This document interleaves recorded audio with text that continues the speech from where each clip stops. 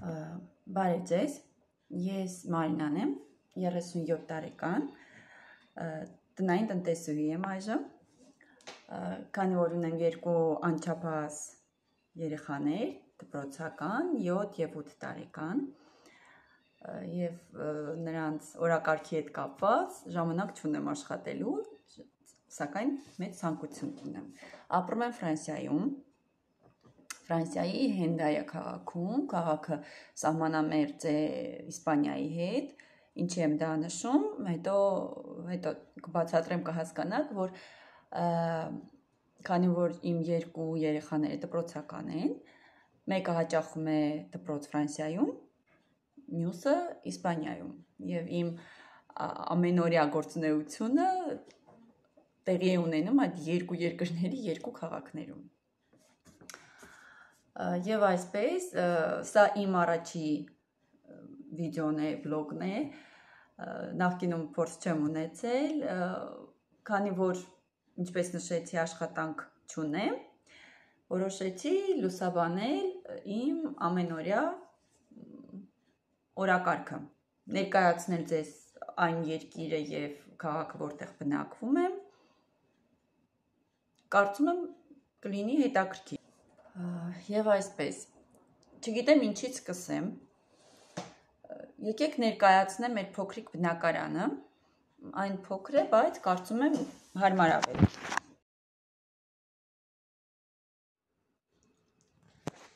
Սա, սա մեր բնակարանն է, արդեն դե նոր տարի է, փոքրիկ զարդարել ենք,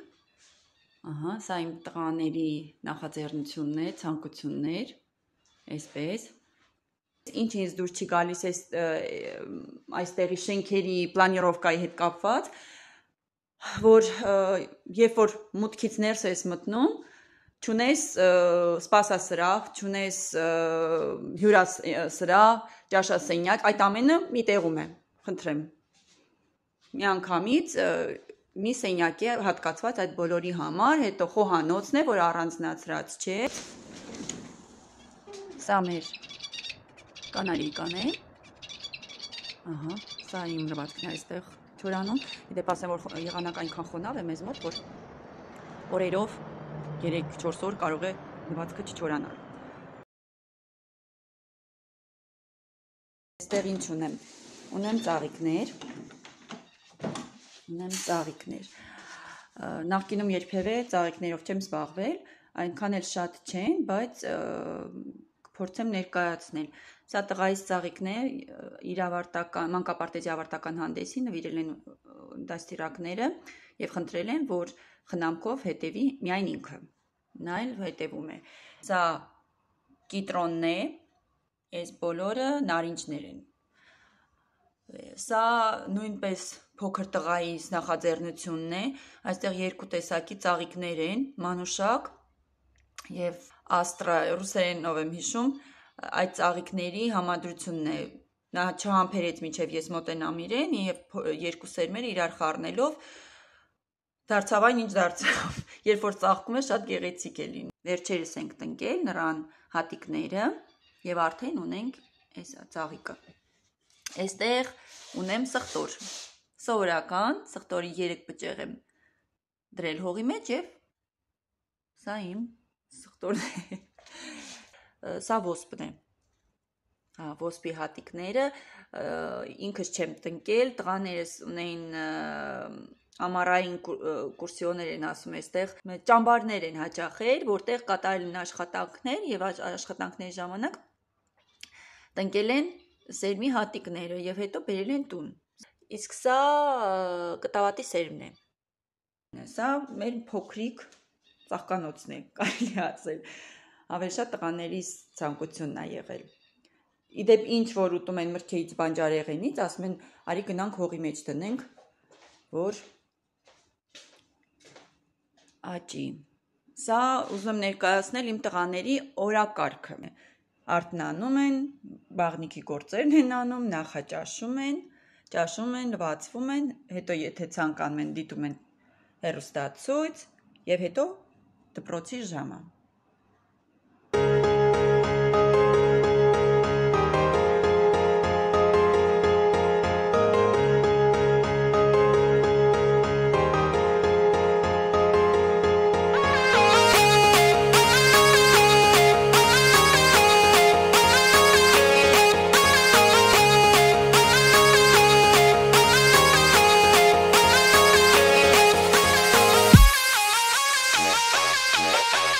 դեպ ասեմ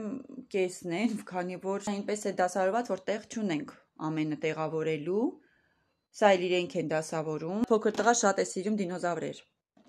ու ամեն ինչը ինչ կապված է դինոզավրերի հետ իր համար շատ մեծ նշանակություն է։ Մեծ տղաս նախընտրում է մեքենաներ, տարբեր տեսակի ես կցանկանայի, որ այստեղ մի փոքր պահարան գնեի, տեղավորեի, բայց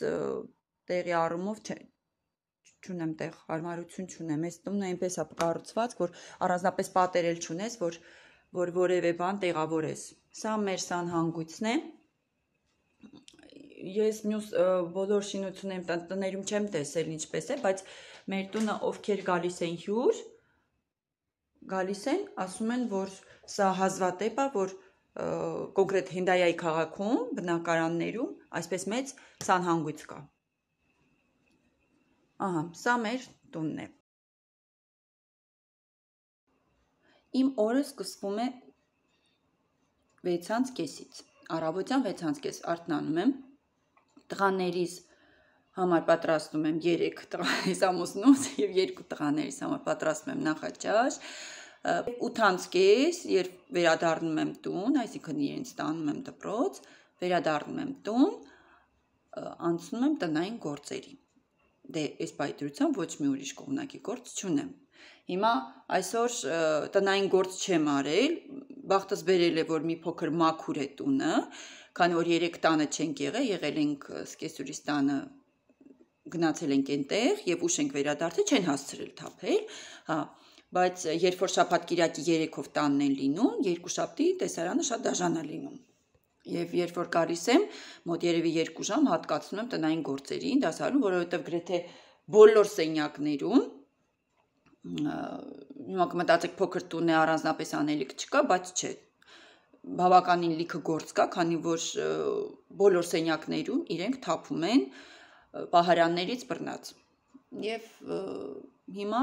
քարլրություն է մեր տանը, ինչը շատ անսովոր է, ասեմ։ Ներեցեք, եթե ինչ որ բան սխալ եմ ներկայացում կամ խոսում, դա երևի թե ժամանակի ընթացքում կշտկվի, քանի որ առաջին անգամ եմ աշխատում տեսախցիկի առաջ։ Հիմա ես պետքա անցնեմ խոհանոց, պատրաստեմ ճաշ։ Քանի որ մեծ փոքրիկ տղաս ճաշում է տանը։ Մեծը ճաշում է դպրոցում, իսկ փոքրը չի համակերպվում դպրոցական մենյուի հետ, ճաշացանկի հետ եւ ցանկալի է որ գատուն ուտի։ Ֆրանսիայում Ֆրանսիայում էլ են գործում նման օրակարգը, բայց Իսպանիայում ծնողները շատ ավելի հավանություն են տալիս դրան, որ գնան երեխաներին, այսինքն եթե ծնողը չի ուզում, որ երեխան մնա ճաշի դպրոցում,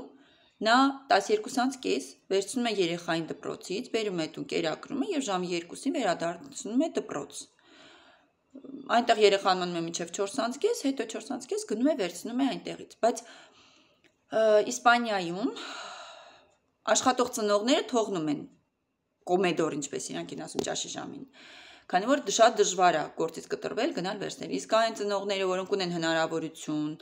տատիկ պապիկներին են դիմում կամ իրանց աշխատանքային ժամը ավարտվում է ժամը 12-ին, 1-ին, նրանք ունեն այդ հնարավորությունը, վերցնում են երեխային տուն եւ նախընտրում են, բացատրում են նրանով, որ երեխան երեխայի համար ստրեսային է 8-ից մինչև 4-ից գտնվել դպրոցում համարում են, որ տնա, տան խոհանոցը եւ կերակուրը պատրաստած շատ ավելի օգտակար եւ արդյունավետ է երեխայի համար, քան դպրոցինը։ Համաձայն եմ, բայց եթե աշխատում ես նման հարցերին արդեն չես կարողանում ուշադրություն դարձնել։ Հիմա, քանի որ ես փոքր տղայիս հետ ունեմ խնդիր ճաշի հետ կապված, ես ամբողջ օրը իմ գնում է ճանապարհներին, վերցնել, տանել, բերել եւ ըստ այդմ չեմ կարողանում ես աշխատել կամ լուծել որոշ հարցեր կախված իմ ուսման հետ, վերականգնել իմ դիպլոմները, մասնագիտությունը, մեքենավարել սովորել, շատ-շատ-շատ հարցեր կան, որ արդեն 9 տարի բնակվում եմ այստեղ, 3 տարի Իրունում Իսպանիայում, արդեն 6 տարի ապրում եմ Ֆրանսիայում, Ֆրանսիայի տարածքում։ Ես հետո ցույց կտամ դուրս կգանք քաղաք, ցույց կտամ, որ ինչքան մոտ է եւ սահման անցնելիս ամենը ցույց կտամ, կպատմեմ, դա հաջորդ եթերների ժամանակ։ Իսկ հիմա քանի որ ես ունեմ նման խնդիր, ես չեմ կարողանում աշխատեմ եւ որոշեցի աշխատանքս դարձնել հետաքրքիր եւ հաճելի լուսաբանելով բլոգների միջոցով։ Իդեպ սա իմ մտահղացումը չէր,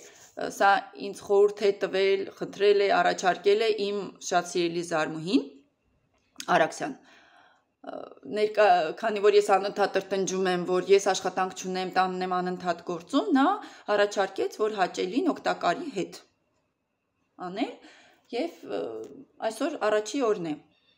Հիմա ես պետք է մի փոքր ճաշ պատրաստեմ փոքրիկիս համար, որ գա տուն ճաշի, հետո վերադարձնեմ իրեն դպրոց։ Ասեմ, որ մեկ շաբաթ ունենք, մեկ շաբաթից հետո սկսվում են արձակուրդները, դպրոցական երկու շաբաթով ամսի 19-ից արդեն դպրոցներ եւ Ֆրանսիայում եւ Իսպանիայում դադարում են աշխատանքը։ Սկսվում են նոր տարվա արարողություններ, տոներ եւ այլն։ Դե եթերները մի փոքր դժվար կլինի, քանի որ երբ որ երկու երեխան տանն է լինում, աղմուկը շատ է լինում, բայց կաշխատեմ իրենց հետ համատեղել։ Իսկ ինչի ես չեմ աշխատում իմ մասնագիտությունը, նախ ասեմ, որ ես ունեմ երկու մասնագիտություն։ Ավարտել եմ բժշկական քոլեջի բժշկական գործի կազմակերպիչ ֆակուլտետը, ունեմ բակալավրի աստիճան, պետք է շարունակեի, բայց չեմ շարունակել այդ ասպարեզում։ Մեկնել եմ Ռուսաստան ծնողներիս մոտ եւ ընդունվել եմ տնտեսագիտական համալսարանի հաշվապահական ֆակուլտետը։ 3 տարի սովորել եմ այնտեղ Ռուսաստանում, Հետո նորից տեղափոխվել եմ Հայաստան, քանի որ ես շատ-շատ-շատ սիրում եմ իմ իմ քաղաքը, իմ Երևանը, իմ Հայաստանը։ Իմ ճանապարհները անընդհատ բախվում են օտարամայ ճանապարհներին, անընդհատ այդպես է դասավորվում, բայց ես ամեն կերպ ուզում էի մնալ Հայաստանում։ Դե ինչևից է, տեղափոխվեցի Հայաստան, 2011-ին ավարտեցի ռուսական բուհը, հաշվապահության ֆակուլտետը տնտեսագիտական համալսարանի։ Եվ դրանից հետո անմիջապես ամուսնացա եւ եկա Իսպանիա ապրելու։ Այսինքն չհասցրեցի որպես մասնագետ կայանալ եւ աշխատել իմ մասնագիտությամբ։ Այստեղ դա հնարավոր չէր անել, քանի որ դեռ պետք է լեզվի խնդիրը հաղթահարվեր, հետո շատ արագ ծնվեցին իմ երկու երեխաները, ունեն տարիքային տարբերությունը 1 տարի 3 ամիս, Հա, եւ շատ-շատ դժվար էր նրանց հետ, դա գրեթե հնարավոր չէր եւ այսպես տարիները անցան միջև 6-7 տարի։ Նրանից հետո էլ արդեն կարծում եի կգնային դպրոց, մանկապարտեզ եւ ավելի բավական թեթև կլիներ իմ օրակարգը եւ կսկսեի զբաղվել արդեն իմ գործերով, բայց չի ստացվում ինչպես տեսնում եք, հետո մեջտեղ են ընկնում նմանատիպ օրինակ բաներ, վիրուս, կարանտին ու շատ անընդհատ ինչ որ խանգարող հանգամանքներ կան։ Գիտության հետ կապված չեմ կարող վերականգնել, պետք է ես հետաքրքրվեցի, եթե կան երկրներ, որոնք ուղակի պետք է որակավորման քննություններ հանձնես, եւ ամեն ինչ լավ կլինի, այստեղ ոչ։ Այստեղ պետք է նորից, նորից ընդունվես համասարան, նորից սովորես ինձ խորհուրդ էին տալիս որ բժշկություն բժշկուրական ասպարեզում չի լինի նման բարդույթներ, դու կարող ես վերականգնել ուղակի որակավորման որոշ քնություններ կտաս, կհանձնես եւ վերջ, բայց ես հետաքրքրվեցի, ասեցին ոչ։ Հայաստանի եւ Ռուսաստանի դիպլոմները այստեղ չեն անցնում։ Իսկ դրա համար լինել ուսանող, առավոտից երեկո գտնվել քոլեջում, համասարանում, որտեղ որ ես որոշեի ընդունվել, դա երեխաների հետ հնարավոր չէր։ Դրա համար ես որոշեցի, եթե փորձեմ աշխատեմ, նեղ մասնագիտական մասնագիտություններ վերցնեմ, ինչու՞ չէ ես պատրաստ եի անգամ վերցնել կուրսեր մերսման կուրսեր, այստեղ շատ շատ շատ կանայք, տարեց կանայք շատ մեծ հավանականություն ունեն եւ ասեմ իդեպ, որ երիտասարդները չեն հասցնում օգտվեն գեղեցկության սրահներից, նման հաճույքներից, քանի որ ահավոր զբաղված են, եւ կարծում եմ, որ գումարներ վատնել նման կենտրոնների վրա ծառայությունների համար անիմաստ է, քանի որ շատ դժվար են աշխատում այդ գումարը Իսկ տարեց կանայք, որոնք արդեն չեն աշխատում, բավականին մեծ թոշակ են ստանում, այսինքն նրանք են ապահոված մասան են համարվում, նրանց ամբողջ օրվա առօրյան շրջագայություններ, նման կենտրոններ հաճախել եւ բավականին պահանջ, պահանջարկ կար Ես փորձում էի, որ չգիտեմ, դեռ չէի որոշել, բայց կամ մերսման, քանի որ ունեմ բժշկական կրթություն, կարող էի դա իրականացնել կամ գեղեցկության սրահում որևէ բան ընտրել եւ զբաղվել, աշխատել, աշխատել, քանի որ դա շատ անհրաժեշտ է այստեղ շատ-շատ հարցեր լուծելու համար։ Դե կարծում եմ հիմա տենց երկիր չկա, որ տանը մենակ մեկ աշխատողը կարողանա հոգա ամբողջ հոգսերը պետք է երկուսը աշխատեն, այստեղ էլ բացառություն չի կազմում։ Եվ այսպես մոտավոր ես ներկայացրեցի ինձ, չգիտեմ ինչքանով հետաքրքիր ճիշտ կամ ինչքանով ավելորդ ինֆորմացիա տվեցի, բայց հիմա մենք երևի կանցնենք խոհանոց։ Կանցնենք խոհանոց, ես կսկսեմ ցույց տալ, թե ինչ եմ որոշել այսօր պատրաստել։ Մենք հիմա եկանք խոհանոց։ Ես հիմա ուզում եմ պատրաստել գարոխով սուփ։ Բայց գարոխով սուփ հասկացողությունը մի քիչ մի քիչ հարաբերական է, որովհետև դե ես հիմա փոխել եմ բանկայի մեջ եմ լցրել։ Այստեղի գարոխները այնպես են լինում, որ ոնց որ պյուրեի նման է դառնում, շատ պինդ է լինում եւ հիմա կպատրաստեմ կտեսնեք։ Ես Հայաստանում պատրաստում էի ուրիշ կերպ։ Այստեղ պարզապես անում ես սոխարած, օգտագործում ես գազար, հետո լցնում եմ գարոխը, ոլորը, ոլորը,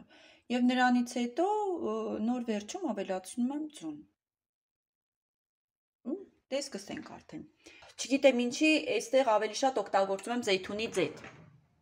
Հիմա ցույց կտամ։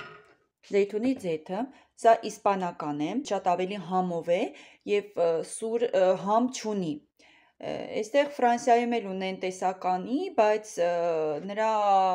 հոտը մի քիչ ավելի սուր է լինում։ Դա ֆիլտրած չի, սովորական ձեթա զեյթունի, բայց շատ ավելի լավն է։ Հիմա ես նախապես արդեն լցրել եմ կաթսայի մեջ մի փոքր, սխտորի պճեղով մի փոքր դաղել եմ, որpիսի ընդհանրապես հոտ չգա։ Դե այստեղ օրինակ Իսպանիայում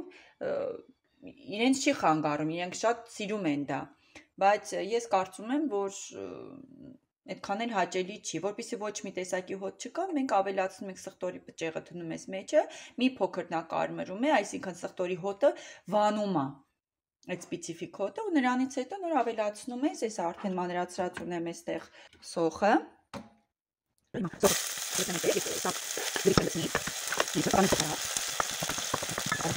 Սոխը Երբ սա պատրաստ լինի, գազարը կլցնեմ եւ հետո սրա հետ ես կպատրաստեմ թոք ենք ասում, չէ՞։ Նախապես արդեն ինքը պատրաստ է, ուղղակի պետքա սոխարածով եւ տոմատով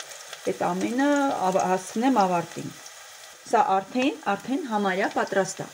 Այստեղ սոխարածը արդեն պատրաստ է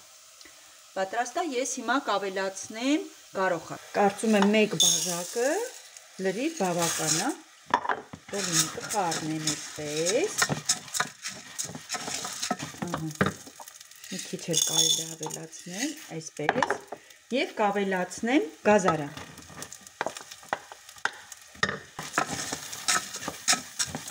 Նույնպես կխառնեմ եւ կավելացնեմ ջուրը։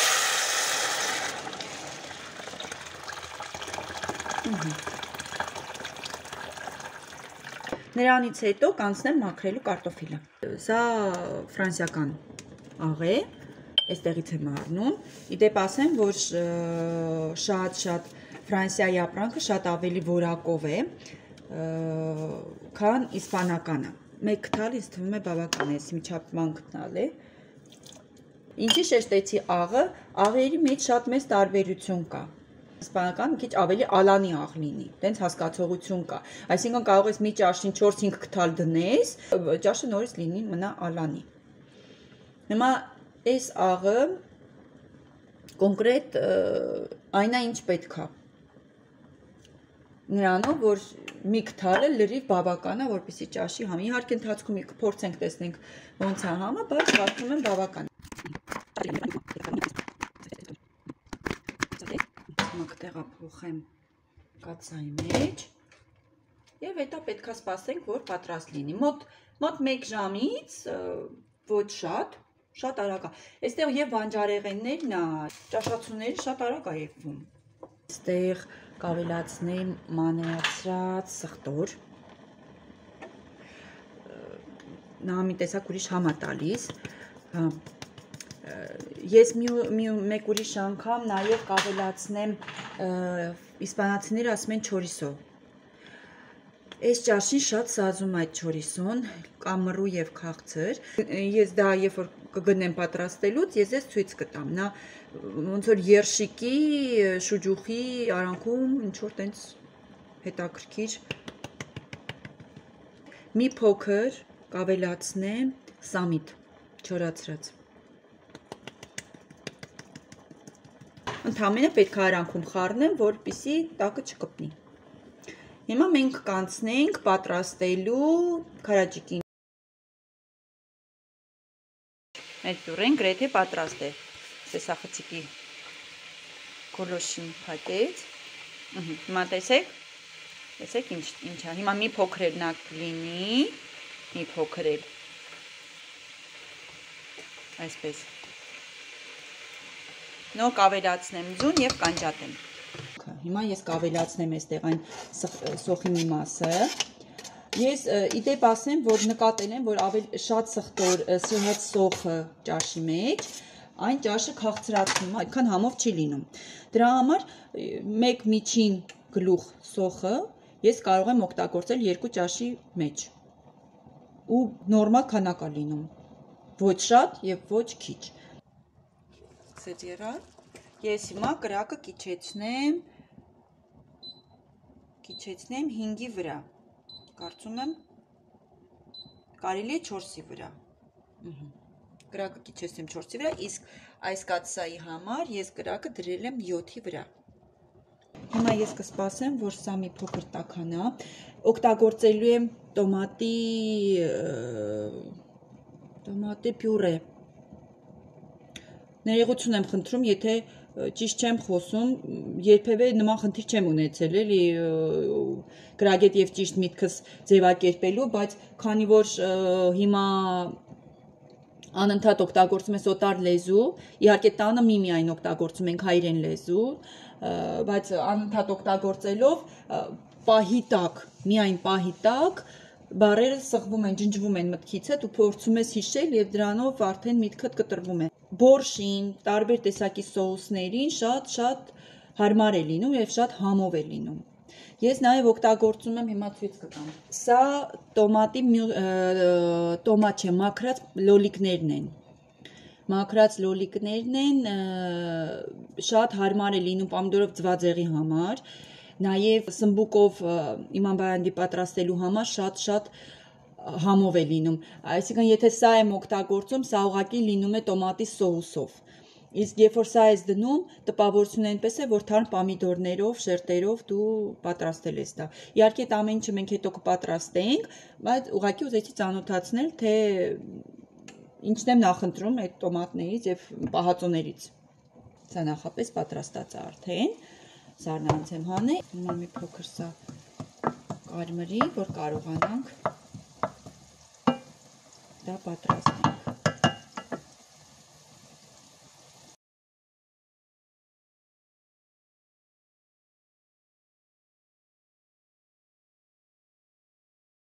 Ես չեմ համբերում, որ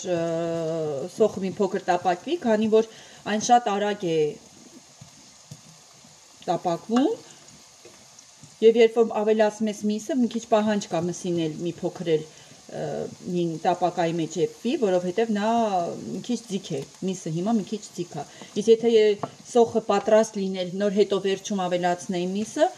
արդեն սոխը կվառվեր։ Դրա համար ինձ թվում է ավելի ճիշտ է, որ միասին տապակվեն այնքան ինչքան որ պետք է, երբ որ արդեն սոխը պատրաստ կլինի, ես կավելացնեմ մեր տոմատի պյուրեն եւ դրանով արդեն կեզրափակենք։ այստեղի կլիմայի հետ կապված է երևի, որ բանջարեղենները հեղուկ մասը ավելի շատ է, ջրային մասը, եւ շատ շուտ է եփվում։ Շատ։ Նույն գազարը, նույն բազուկը շատ շուտ է եփվում։ Եթե փոքր մանրացնեմ հիմա։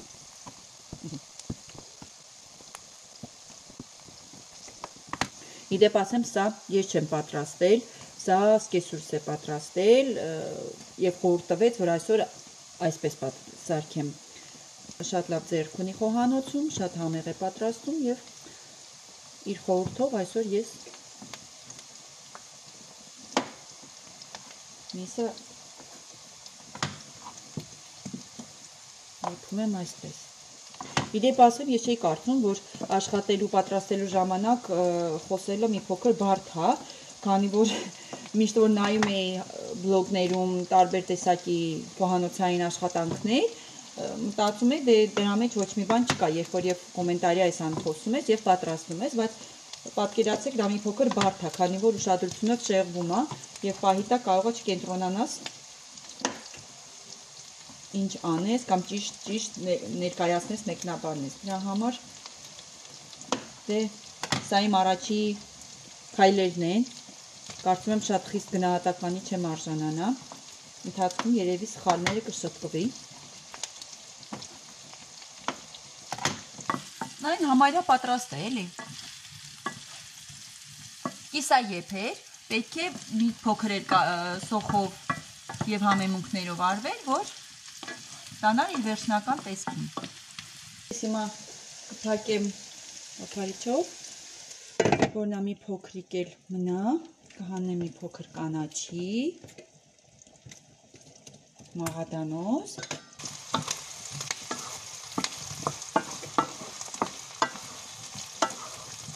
Կարծում եմ այն արդեն պատրաստ է։ Մի փոքր ես ավելացնելու եմ սա։